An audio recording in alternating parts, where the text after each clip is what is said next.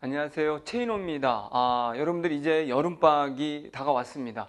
우리 고3이든 N수생이든 혹시 이제 공부를 새로 또 하려고 하는 반수생이든 여름방학이 아마 중요하다는 건 다 알 겁니다. 그런데 중요한 건 중요하다는 것만 알지 이 여름방학을 어떻게 보내는지에 대해서는 잘 모르고 있는 것 같습니다.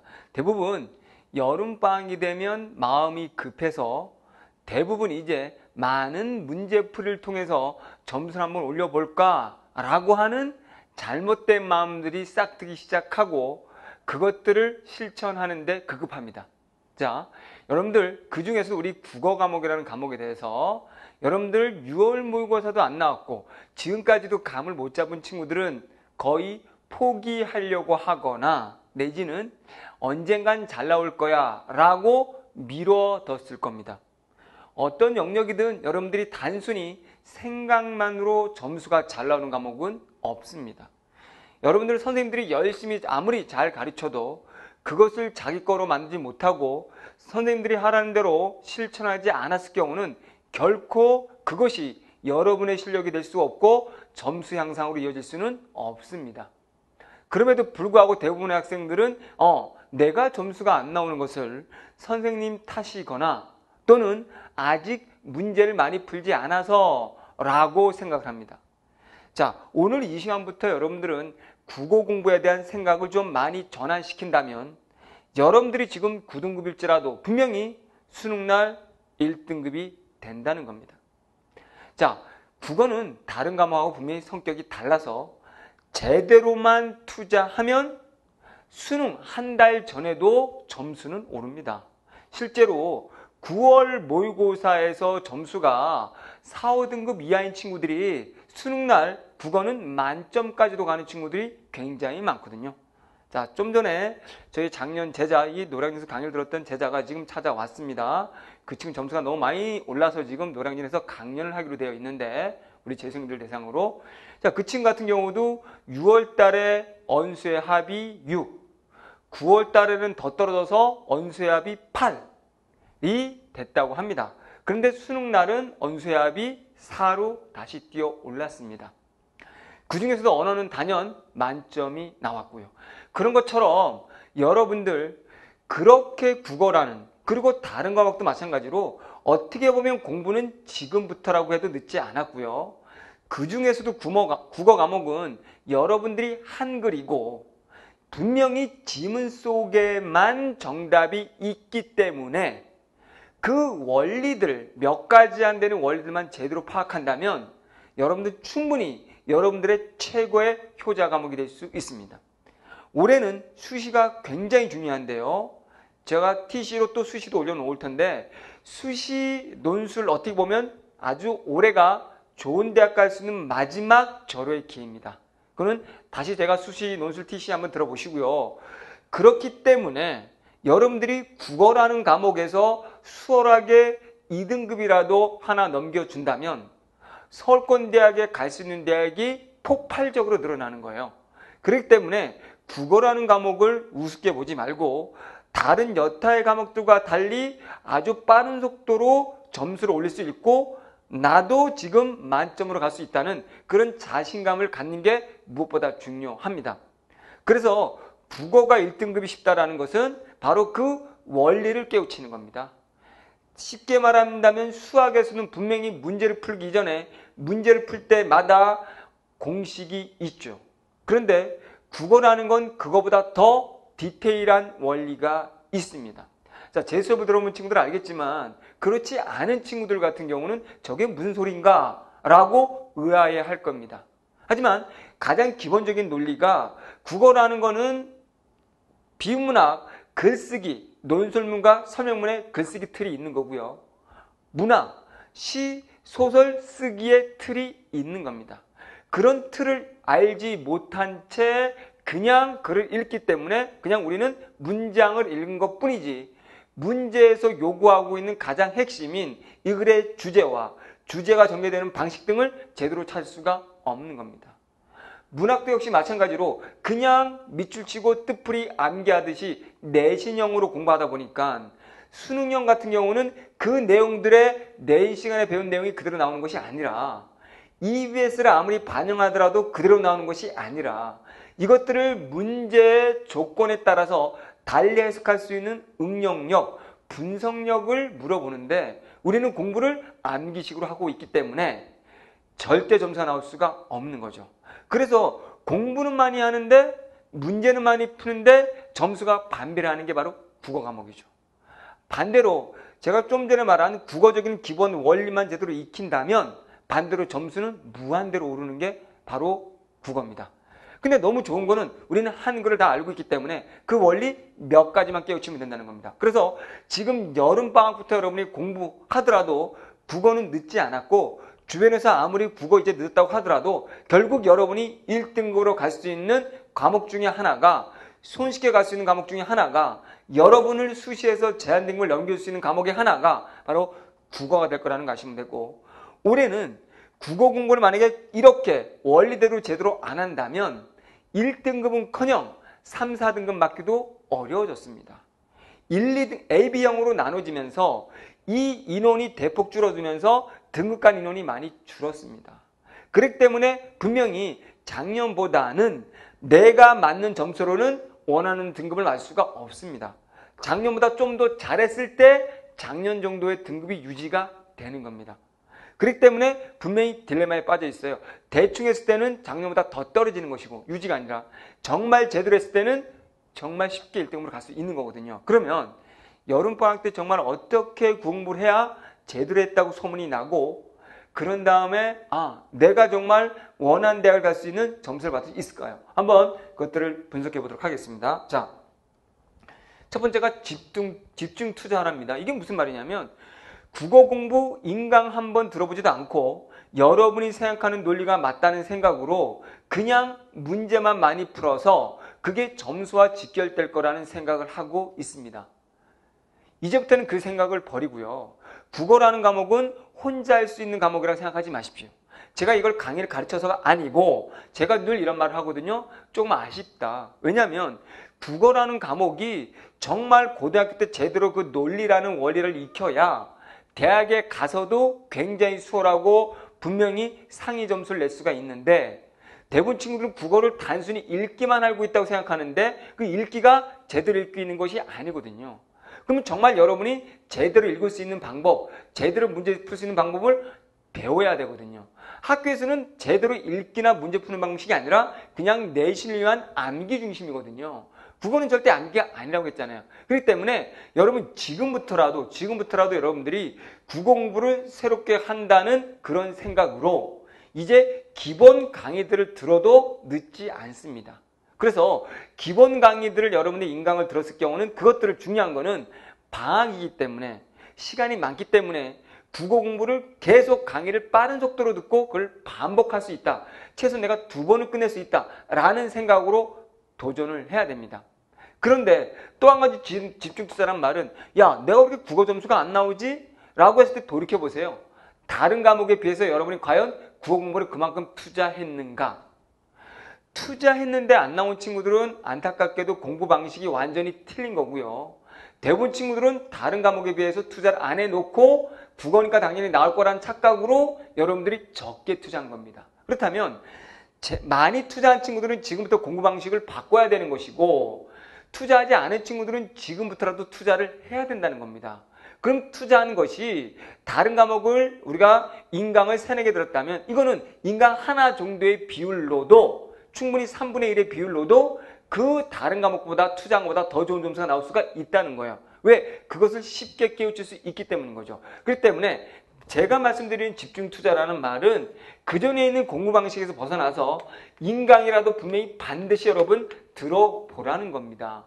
그리고 그리고 분명히 시간적인 측면에 있어서도 다른 과목에 비해서 적게 투자했다면 적게 투자해놓고 점수가 잘 나오길 바라는 건 욕심이거든요. 그렇기 때문에 이제부터라도 다른 과목 그 이상으로 여러분이 점수를 맞고 싶다면 분명히 시간도 그만큼 투자해야 된다는 겁니다.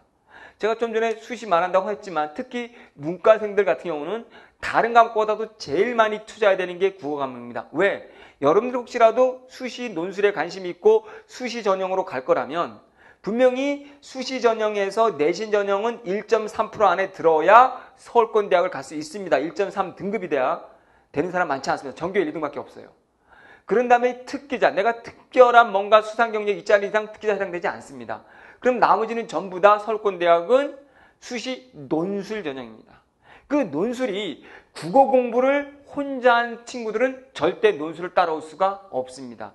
논술은 국어보다 더 어려운 완벽한, 더 긴, 복잡한 논리를 갖고 있기 때문입니다. 그렇다면 국어 공부를 제대로 논리적으로 한 친구들은 논술도 너무 쉽게 하는 거예요. 국어 공부에 플러스 10 알파 정도만 하면 되거든요. 그런데 이 국어 공부를 혼자 하고 있는 상태에서 난 죽으라고 논술하고만 다니고 있다? 그러면 논술, 논술도 망치는 거고 국어도 망치는 꼴이죠. 바로 밑빠진 독에 물 붓기 격을 하고 있는 거예요. 그것들을 잘 보시고 여러분들이 또 이렇게 인간 같은 거에 잘 믿음이 안 간다 이런 느낌이 들면 일단 맛보기든 뭐든 들어보시고 여러분이 지금 수업을 혹시 듣고 있거나 여러분이 혼자 하고 있는 방식과 비교를 해보면 됩니다. 그랬을 때 여러분들이 정말 바보가 아닌 이상 여러분들이 금방 판단이 설 겁니다. 그 판단이 섰다면 빨리 결정을 해서 지금부터 밀고 나가면 충분히 여러분이 1등급 맞고 만점 맞고도 남는다는 겁니다. 우리가 아까 좀 전에 이야기했던 친구, 우리 어, 그 친구 같은 케이스도 고3 때 같은 경우는 점수가 굉장히 안 나왔습니다. 언어 공부 제 강의 듣지도 않았고 혼자 했습니다. 결국은 고3 때 아마 5등급이 맞았을 거예요. 그런데 수능 때 재수해서 만점이 나온 거거든요. 그런 것처럼 여러분들 충분히 그보다 더한 친구도 있습니다. 제가 TC 보면 알겠지만 재수까지 해서도 국어가 6등급이었던 친구가 수능날 만점을 받았거든요. 국어의 논리를 익히면서. 그리고 얼마 전에 잘 보니까 9등급인 친구가 2개월 만에 2등급으로 갔더라고요. 그거 가능하거든요. 원리기 때문에. 그런 것처럼 여러분들 분명히 투자라는 개념을 명확하게 혼자 하던 공부 방식에서 벗어나 본다. 하나라도 난 제대로 들어본다. 라는 생각으로 여름방학을 시작하시고 시간도 분명히 투자한다면 일거양득이 된다. 라고 생각하시면 됩니다. 자, 그러면 제 말씀대로 한번 믿어보고 나 강의를 한번 들어볼 거야. 라고 했을 때는 분명히 점수가 3등급 이하인 친구들 그리고 한 번도 제대로 강의를 들어보지 않은 친구들은 비록 지금 여름방학이랄지라도 문제풀이 강의를 들으면 안 됩니다. 우리가 기본이라는 개념은 기본을 토대로 다른 새로운 영역이나 다른 새로운 문제에 적용할 수 있고 응용할 수 있는 힘을 기르게 해주는 게 기본입니다. 축구 선수의 기본은 바로 체력 잘 달릴 수 있는 겁니다. 풀타임 90분을 뛸 수 있도록. 테크닉은 좋은데 체력이 안 돼서 15분 뛰어봤자 전혀 도움이 안 됩니다. 그렇기 때문에 우리가 분명히 기본 강의, 각 선생님들, 특히 국어 같은 경우 기본 강의라는 걸 충분히 듣고 기본의 원리나 법칙을 분명히 익혀야 됩니다. 기본 원리와 법칙을 익힌다면 여러분이 따로 EBS가 출제되더라도 EBS를 풀지 않아도 되는 겁니다. 좀 전에 말씀드렸던 그 친구도 그 다음에 6등급에서 만점으로 간 그 친구도 한 친구는 고대 갔고 한 친구는 저기 한의대를 갔습니다. 그 친구들 같은 케이스도 바로 뭐냐면 EBS를 풀지 않았다는 거예요. 작년에 저 역시 EBS 다 풀어줬습니다. 그럼에도 불구하고 그 친구들은 마지막 끝날 때까지 좀 전에 친구들도 기본 강의를 더 돌려본 겁니다. 1년 동안 쭉 제 커리를 따라왔지만 EBS보다는 막판에는 오히려 저의 기본 강의들을 수십 번 돌려봤답니다. 좀 전에 그 친구 지금 밥 먹고 왔는데 그 친구도 수십 번 돌려본 게 효과적이라는 거죠. 그런 것처럼 기본이라는 말 뜻 속에는 어떤 것도 풀 수 있는 그런 힘이 생깁니다. 그렇기 때문에 여러분들 기본 강의를 들어야 되는 친구들 같은 경우는 반드시 원리와 법칙을 익히고 기본 강의를 머릿속에 여러 번 반복한다라고 생각하시면 됩니다. 그리고 EBS를 안 풀더라도 분명히 최근의 기출문제를 통해서 여기에 나와 있는 원리와 법칙이라는 걸 반드시 적용해 보면서 내가 원리와 법칙 적용 안 되는 게 뭔지를 깨지는 게 중요합니다. 자꾸 틀려보는 게 중요해요.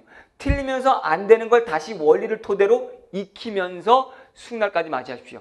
그렇게 해서 기출 강의를 다 끝냈다면 기출 문제를 끝냈다면 그땐 EBS를 적용해도 되는 거예요. 그때 그 다음이 EBS예요. EBS는 수능과 또 모의고사보다는 한참 논리적인 측면이 많이 떨어져요. 그러니까 제 강의 들은 친구들은 EBS 강, EBS 교재를 보면서 왜 이렇게 논리가 안 맞지? 그 말이 안 돼? 문제가 안 돼? 라는 거 다 찾아낼 수 있을 거라고 좀 봅니다. 제가 요즘 강의해 주는 게 바로 그런 거고요. EBS를 봤을 때 이게 나오려면 이런 논리 구조로 바뀌어야 되고 이런 논리 구조가 안 맞기 때문에 출제 가능성이 좀 떨어지고 그러나 다 분석을 해 줍니다. 어떻게 뜯어 고쳐야 되는지를. 그리고 문제는 EBS 동일한 문제가 하나도 안 나오기 때문에 너무 EBS에 목매지 마십시오. 제가 말한 것처럼 너무 EBS 문제에 목매지 마십시오. 자, 저는 그래도 EBS 플레이어라고 하는 친구들이라면 요 기본 원리와 법칙을 토대로 EBS를 연습해야 되는 겁니다. 그럼 EBS 연습할 때도 문제는 동일하게 안 나오기 때문에 오히려 지문 쪽에 작품 쪽에 초점을 드시고 분석을 하시기 바랍니다. 그러면 문학의 같은 경우에는 EBS에 나온 문제를 토대로 결국은 지문에 있는 작품을 해석할 수 있는지 그런 원리를 연습하는 곳이고 비문학 같은 경우에는 첫 단락만 딱 보고도 아 첫 단락에 앞으로 중심하자는 이거고 본론 내용은 이게 전개되니까 아 본론에 이런 내용이 나오겠네 라고 본론의 내용들을 예측하면 내가 읽을 수 있는지 정말 핵심을 찾아가면서 읽을 수 있는지 그리고 각 영역별로 인문, 경제, 과학기술 또 이런 지문들이 나왔으면 내가 그 글쓰기 논리대로 읽고 있는지를 연습을 하고 그 논리가 보일 때까지 같은 지문을 반복하는 겁니다. 그게 원래 좋은 게 바로 기출이죠. 그래도 어쨌든 EBS를 나중에 풀겠다라고 하는 친구들은 여름방학 이후라도 풀겠다는 친구들은 문제는 한 문제도 동일한 문제가 여태 나오지 않았습니다. 그렇기 때문에 문제 초점 두지 말고 내가 그 지문을 완벽히 해석할 수 있는지 논리대로 이거를 점검하는 게 무엇보다 중요합니다. 자 그렇다면 저는 기본 강의도 다 들었습니다. 이런 친구들 여름방에 뭐 할까요? 그렇다면 그 친구들은 이제 뭐 하면 됩니까?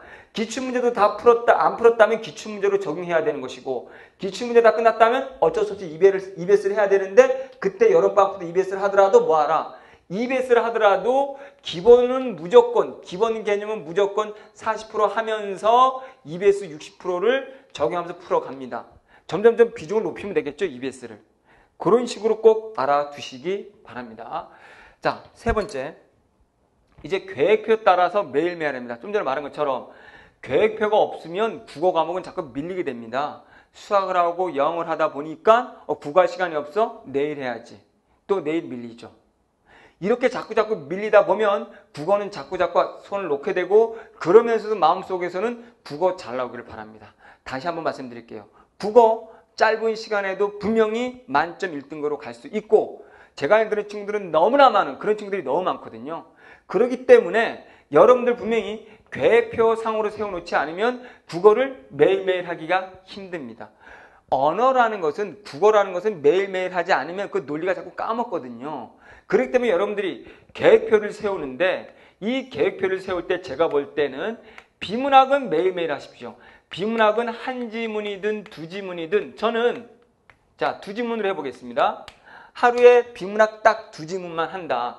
두 지문만 하되 요거 이제 분석하라고 연결되는 건데 분석 중심으로 아까 말한 원리가 보일 때까지 비문학은 매일매일 하고요. 예를 들어서 내가 이제부터 국어를 제대로 해야 되겠어. 논술도 잡아야 되기 때문에 라고 했을 때 비문학을 내가 한 시간 한다면 그 다음에 문학 문학에서도 나는 오늘은 뭐, 아, 그럼 내가 시가 한 편 해야 되겠어. 현대시 하나랑 고전시 하나 해야 되겠어. 또 원리 적용해서 이것도 한 시간. 그럼 이렇게 두 시간. 이렇게 하면 되거든요. 그러면 그 다음날은 또 뭐, 그 다음날도 또 비문학인데, 비문학 할 때는 반드시 두 지문 할 경우는 내가 오늘 과학이면 과학만 두지만, 두 지문. 내일은 예술이면 예술만 두 지문. 이런 식으로 각각의 영역별로 특성이 있거든요. 글 쓰는 특성. 그거를 잡아내기 위해서 집중적으로 그렇게 하시고 문학 같은 경우 자 오늘 문학 시가 있으면 다음날은 문학 산문편을 하시면 되는 거죠. 돌아가면 로테이션으로. 그럼 그 다음날은 비문학하고 문학 대신 문법 하면 되는 거죠. 이런 식으로 비문학은 쭉 매일 가고 그런 다음에 문학, 시가, 산문, 문법을 로테이션으로 돌아가면서 해주면 됩니다. 그렇다면 여러분들은 분명히 매일매일 공부를 하게 될 것이고 오늘부터 언어에 자신감이 생기고 국어에 자신감이 생기면 다른 과목도 잘하게 됩니다. 국어가 잘 보일 때 다른 과목도 되거든요. 아까 우리 국영수 6등급에서 한의대 간 친구는 국어 공부만 삼수할 때 여름방학 때 제 강의를 12번 반복했답니다. 그랬더니 기본 원리가 보이니까 제 강의의 특징은 모든 강- 공부하는 방식이거든요. 공부, 기본 원리, 텍스트 읽는 거.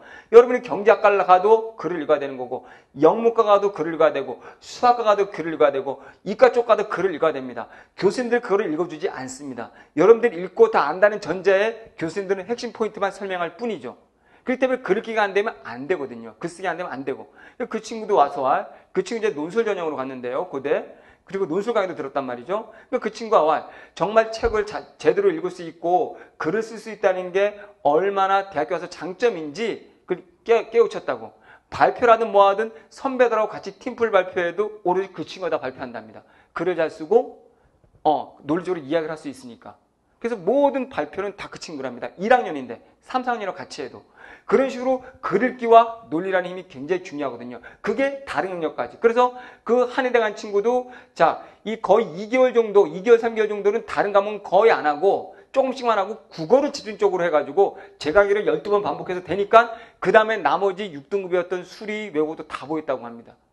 그래서 공부가 너무 재밌어졌다고 수능 끝나고 나서도 계속 공부하고 싶어 하는 그런 친구고 계속 책, 책을 읽고 글을 쓰는 친구입니다. 그런 것처럼 여러분들이 이 계획표를 꼼꼼하게 짜야 되고 이렇게 계획표 짜는지 않으면 국어는 계속 밀리게 돼 있습니다. 제가 많이 하라고는 하진 않겠습니다. 매일 일정한 시간에 일정한 분량을 따져서 어느 쪽에 너무 치중하지 말고 이렇게만 가주시면 되겠습니다. 됐죠? 자, 네 번째 이제 약점을 공략하랍니다. 우리 약점을 공략하란 말은 시간표 짜기와 연동해 봤을 때, 어, 내가 지금 비문학이 약해. 비문학이 약하다고 한다면 비문학 중에서도 내가 과학기술 지문이 약해. 그럼 어떻게 해야 됩니까?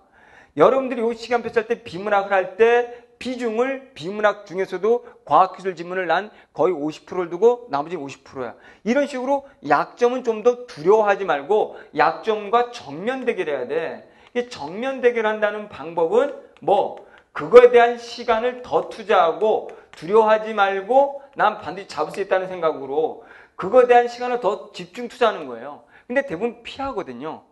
그걸 자꾸 하기 싫고. 그러니까 오히려 여러분이 약점이라 생각하는 부분들을 찾아내고 집중 공략해야 되는데 여러분이 정말 약점이라고 알 수 있는, 알 수 있는 것은 이겁니다. 분석을 통해서 알 수 있어요. 이 분석 공부라는 게 바로 뭐냐면 여러분들이 이론을 보고 또 돌려보고 반드시 문제로 적용을 해봐야 됩니다. 제 수업을 듣고도 점수가 안 나오는 친구들은 문제 적용을 안 한 거야.